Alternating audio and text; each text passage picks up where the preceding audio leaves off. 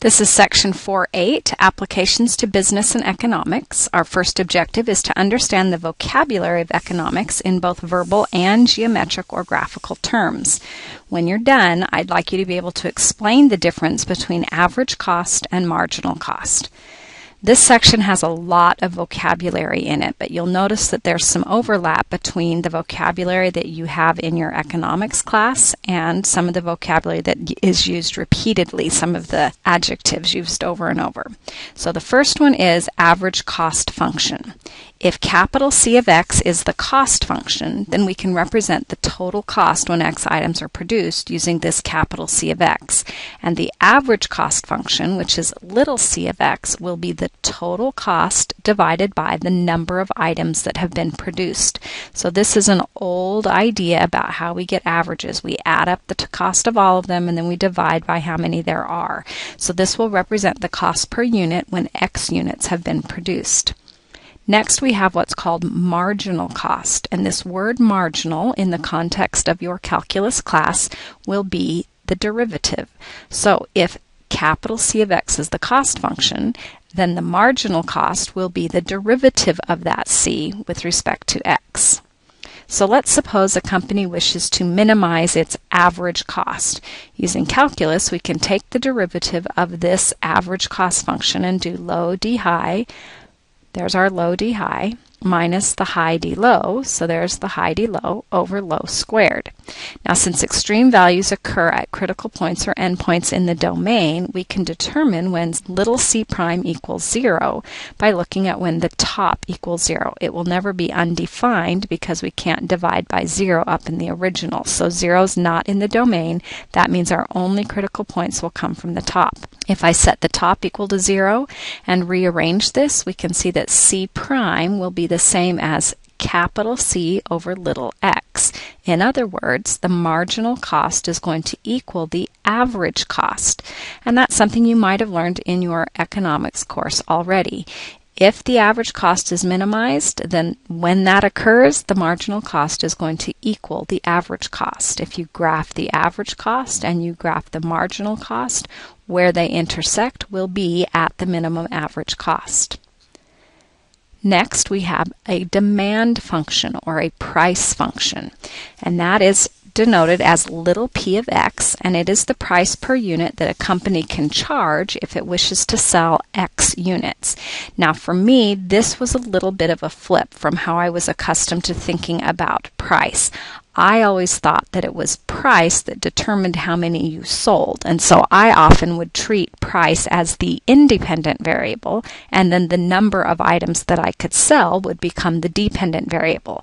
But this is incorrect. In the economics world, we decide ahead of time how many items we wish to sell, and then based on that, we determine the price. So the independent variable is how many items you're selling, and the price will depend upon that X. Therefore, if you want to sell a whole lot of them, then the price you can charge has to be low. In other words, the function is going to be a decreasing function. The more you want to sell, the lower the price you're going to charge. Next, we have revenue or sales. The revenue is the money that comes in. It's kind of your cash register receipts at the end of the day. So if you have sold X units in the day and you charged P of X for each one of those units, then the revenue that comes in will be the number you sold times the price you charged. Again, that word marginal here is going to mean the derivative. So marginal revenue will be the derivative of this revenue function.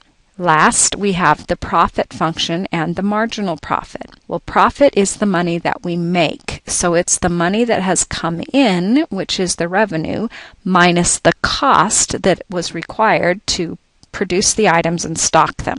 So our total profit will be revenue minus cost. And if we want the marginal profit function, we're going to take the derivative of this and get r prime minus c prime. So again, let's say instead of minimizing average cost, that we want to maximize profit. Using calculus, we'd take the derivative of that profit curve and get r prime minus c prime and then we'd set it equal to zero or undefined. It will be zero when marginal revenue equals marginal cost. Again, we can think of that graphically.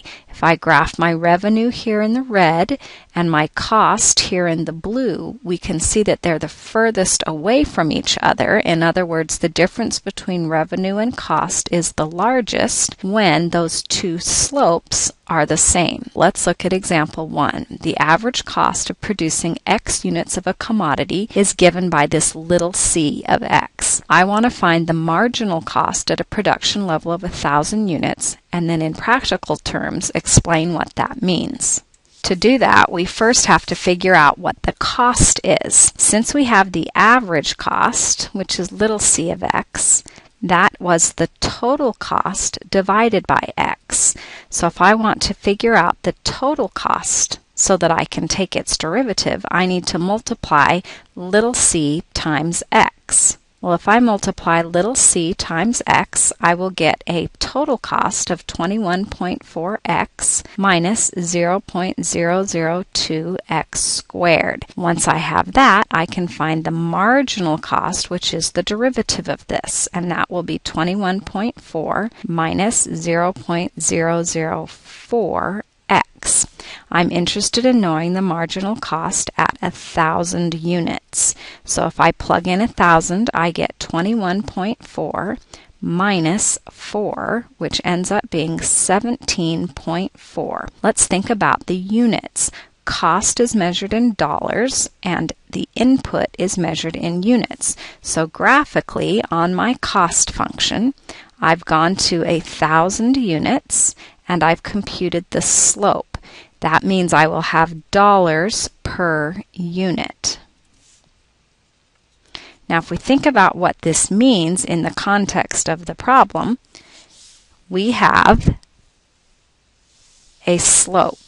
Says if we go over 1, then we're going to go up 17.4.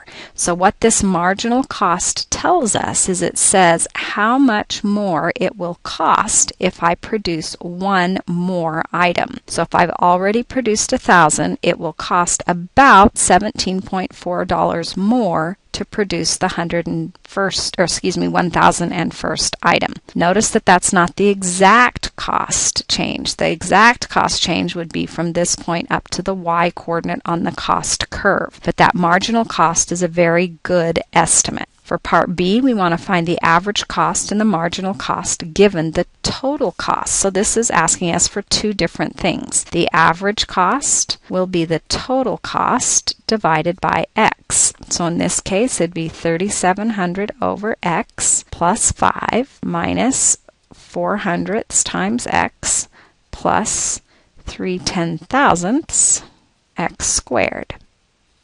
If, on the other hand, I want the marginal cost, that's the derivative of the original cost function.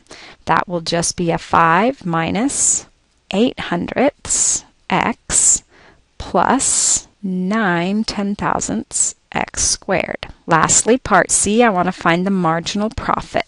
So to find the marginal profit, that's just asking me to find the derivative of the profit. Well, I can't get the derivative of the profit until I've actually written the profit function. Recall that the profit is the money that comes in minus the money that goes out. So it will be the revenue or the number of items I've sold times the price I'm charging per item minus the cost function. Now, one of the big mistakes that people make when they're computing these profit functions is they neglect to subtract the entire cost. So make sure you put parentheses around the whole cost function. If we do that, we get the profit function is a negative 100th x squared plus an 8x minus a 680. Now I'm prepared to take the derivative so that I can find my marginal profit, and it will be negative 0.02x plus 8. With example 2 now, we want to determine the production level that will maximize the profit. So what we're going to do is we're going to first figure out a profit function because we can't maximize things until we have what we want to maximize written down in terms of a single variable. Remember that profit is revenue minus cost. So that will be the number of items I'm selling times the amount I'm charging per item minus the entire cost function. Now in this particular case, I'm going to use the calculator to help me just to make sure I don't make any stupid mistakes. So what I'm going to do is I'm going to put y1 to be x times that little p of x, and I'm going to let y2 be the cost function, and then I'm going to let y3 be y1 minus y2. Once I have y1 minus y2 in y3, then I can let y4 be the derivative of that profit function. Now remember that I want a max, so that means I need this y4 to cross the x-axis from positive to negative. So let's take a minute and look at our calculators and get everything in. So in here, in my y1, I have my x times my demand function. In y2, I've put my cost function. y3 is y1 minus y2, and y4 is the derivative. We've got to remember that we can't make negative items. So we'll go to the window and start with 0 and go maybe to, I don't know, 250. And let's just do a zoom fit and see what happens. Now it's probably going to take a while to graph, so while it's graphing, we'll think about what we want to write down over here. We want to maximize the profit. If this were a free response problem, I would need to actually take the derivative. So to take the derivative, I'm going to multiply this out and then differentiate. So I'll have an x times a 3.5. The derivative of that is a 3.5. Here I'd have an x squared times a negative 0.01. So that derivative would be a negative 0.02x, and then I'll subtract the derivative of all this. So 1.26 minus 0.02x plus 0.12. 321x squared. So here's my p prime of x. I need this to equal 0 or undefined. We know it'll never equal undefined because there's no problems with this, no division, no even roots, no logs, and it'll be 0 at the location that we find on our calculator. And then we would write p has a max at x equals something because p is continuous and p prime changes from positive to negative.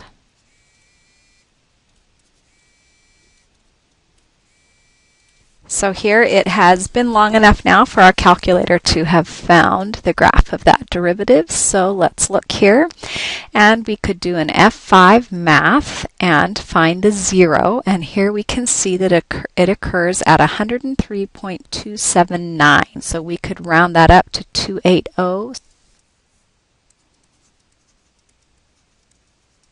Now, one thing that's a little tricky about these types of problems is that we cannot make 0.280 portions of an item. We either make 103 items or we make 104 items. And we cannot assume that by rounding to the nearest, we're going to get the value that actually maximizes the profit. So we need to test both 103 items and 104 items so that we can locate the actual max that we're going to get.